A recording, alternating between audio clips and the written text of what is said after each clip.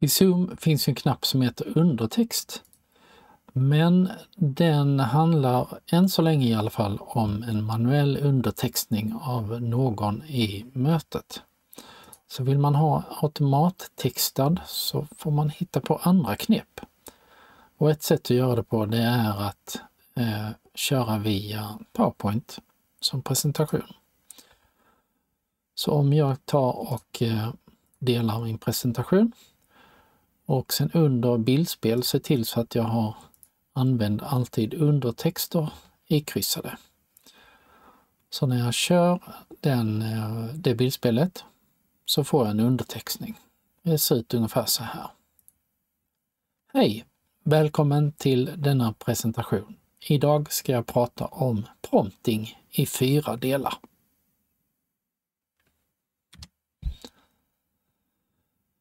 Eh, så det är ett sätt att göra det på.